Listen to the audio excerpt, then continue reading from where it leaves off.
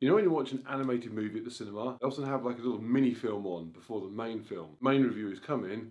This is the mini review.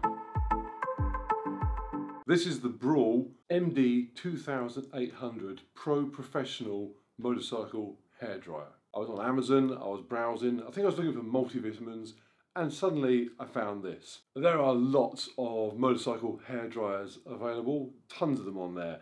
The thing that sold me on this, this is the Pro Professional. That's basically the professional professional version. If those other ones go up to 10, These go to 11.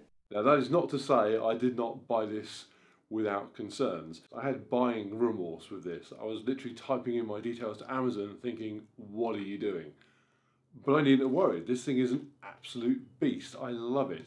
I cleaned the CRF at the weekend, blasted it with this, got all the water off of it. It's bone dry. No drips on the floor, no water left on the bike to rust things. I want to use it all the time. I was even tempted to mop the floor of the garage just to dry it with this. Uh, I didn't because that would involve mopping the floor. Love it. Highly recommended. So,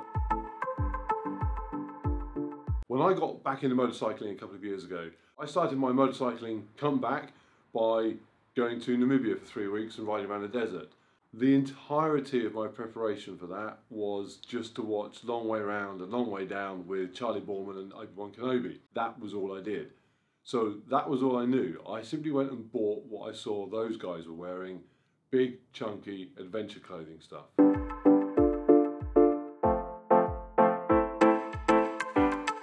This is the jacket that I wore. I have matching trousers. This is by Revit and it is very, very good. It's comfortable to wear, it's nice and loose fitting, it's got built-in armour, layers for waterproof and heat, looks the part, lots of storage, it's very good. However, as my three weeks in Namibia wore on, I started to have some minor concerns.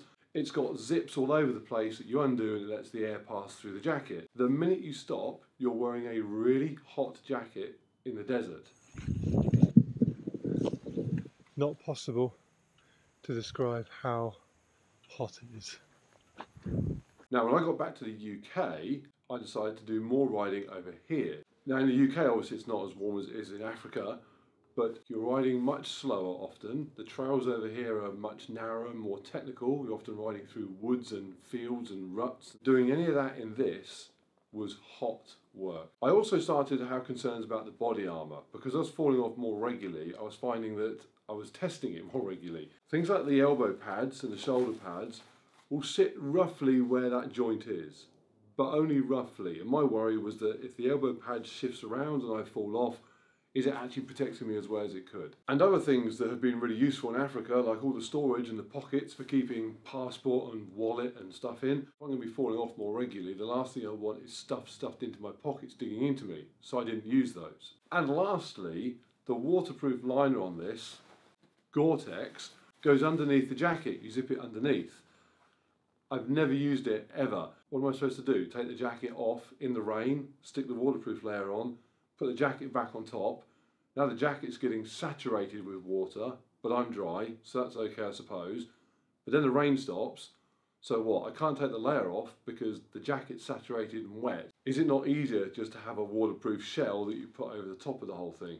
So this is very, very good, but it became not appropriate for what I was using it for. If I was doing more of a sort of touring style riding, absolutely fine. And to be fair, most people on big adventure bikes are doing that sort of riding. This is great. They can stick their money in their pockets for their cappuccino.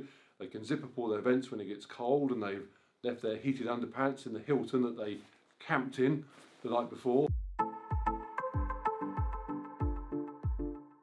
It works very, very well for that, but not for me. So, I started looking at what I could wear instead, and there did seem to be a really big gap between that sort of bulky adventure style riding gear and then just motocross gear. I didn't want to wear motocross gear. It's nice and it's bright and it's colourful and it looks like you're off to the X Games. That's not for me at all. So then I stumbled on the Adventure Spec gear. Now I'd use Adventure Spec for all sorts of bits and pieces on the bikes. Bash plate on Jen's bike is from Adventure Spec. They helped us out with the tyres, gave us loads of advice on that. They even qualified for a sticker on the tool chest. So I looked on their website and I found they were selling their own branded gear. The choice was really limited, which was very good, kept it nice and simple. They had a Atacama race pant. That was the only pant they did, so that was an easy choice. They then had a couple of jackets. They had the matching jacket, the Atacama race jacket, and they had the linesman jacket. I like the idea of the linesman jacket. It's supposed to evoke ideas of using the Trans-European Trail. That's where they got the name from. But it's green, so it doesn't match the trousers, which was important to me. And it's green, like a farmer. So this is it. 249 for the jacket, 229 for the trousers. You get these and then you layer up. And I love the idea of layering up. When I first got the adventure jacket, I thought that was the way to go. Built-in armor, built-in waterproof layer. No, I now much prefer wearing separate layers that I can pick and choose depending upon where I'm riding, what the temperature is. I am completely a layering convert. I wear compression shorts and compression t-shirt underneath everything for just for comfort and sweat wicking, whatever that is. On top of that, I then wear my armour. So I have knee pads that I wear and I wear my body armour,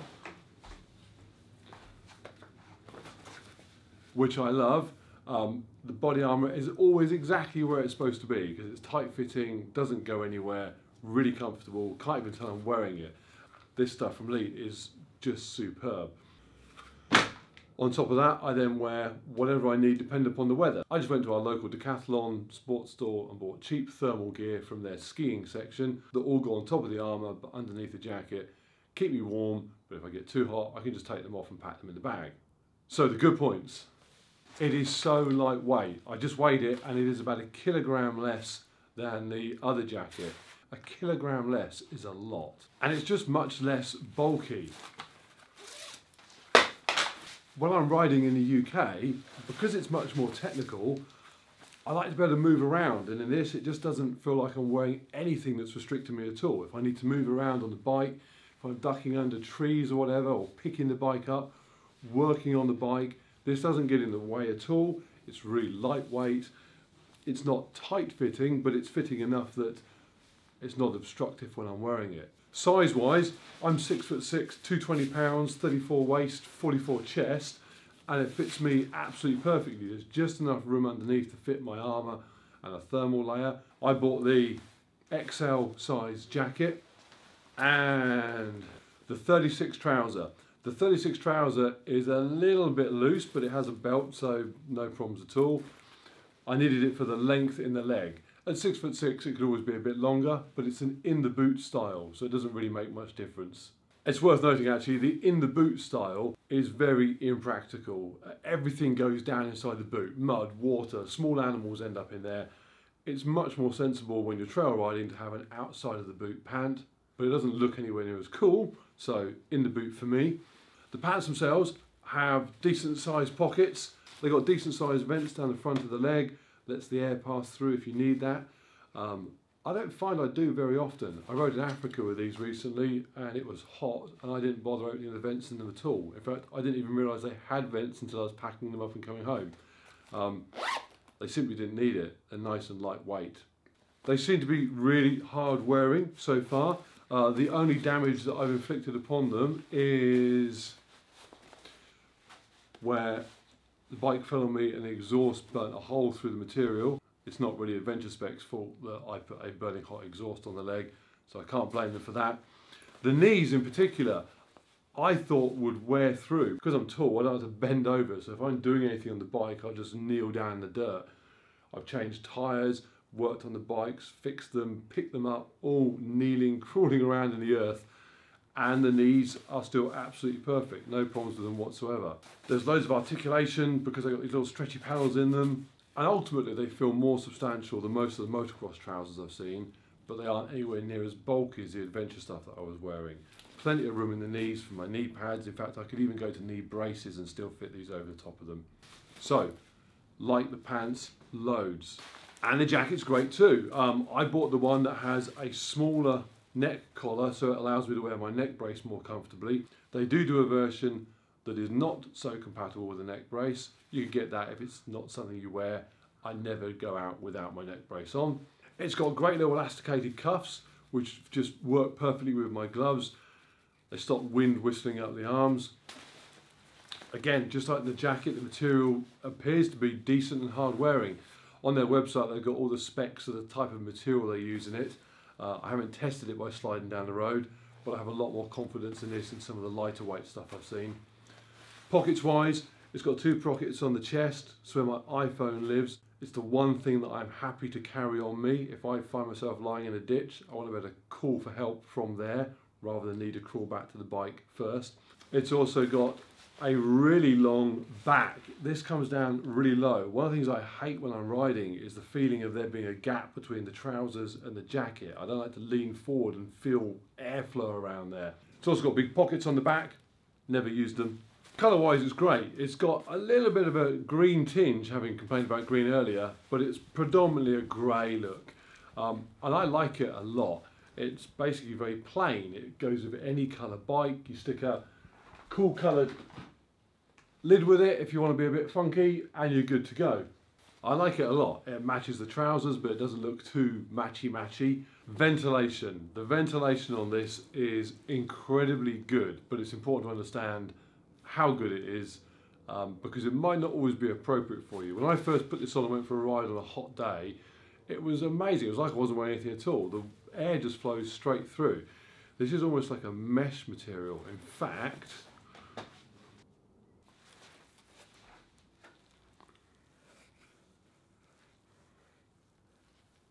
you can see straight through it. I bought this just before going to the Pyrenees and I expected the Pyrenees to be beautifully hot. It was June we were going, we were expecting it to be lovely weather. And day one of the Pyrenees looked like this, a little bit chilly. Took me about four hours to dig the bike out of that snowdrift. We then had to ride for a good couple of hours after that. But the jacket was absolutely fine. Uh, I had no problems with it at all. When I was working on digging the bike out and getting really hot, the jacket wasn't too hot and it allowed me to work on the bike with no problems afterwards, when I was riding to the campsite, I simply stuck on my thermal layer underneath. It took me 30 seconds to put that on under the jacket. There was no problem with it at all. And the following day, when the sun came out properly, and I got really hot wearing it, I simply rolled it up really small and stuck it in the bag on the back of the bike. On the odd occasion, it rained over there and we got wet. The thing dries out in seconds. Despite me riding in some really harsh conditions, I had no problems with it at all. And since then, I've ridden all over the place with this. As I say, I was in Africa recently and I wore it there. Ventilation, of course, was excellent, but there were times we rode either in the very early morning and it was cold, down by the coast was, was chilly. We rode up in the mountains and that's cold up there. Again, stuck a thermal layer on, and on the odd occasion where I had to get off and work on the bike and do stuff with the bike, again, much less restrictive, just felt really comfortable using it. So, like it an awful lot. Problems with it? Well, there's, there's three problems. Firstly, these rubber logos that they put on, these things just fall off. It's going already on the other side. In fact,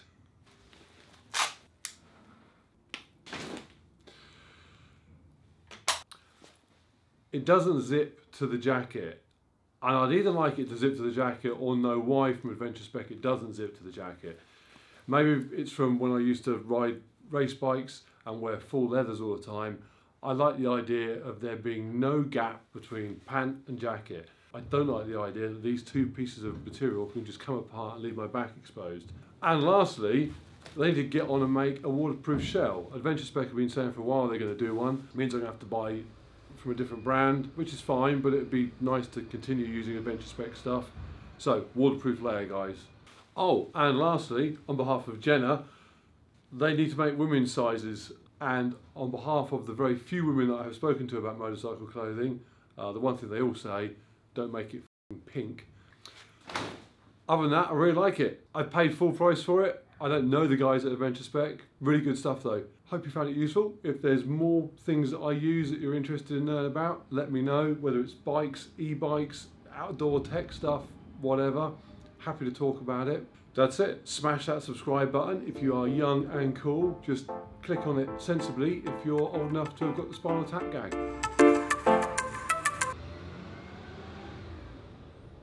It's bins day.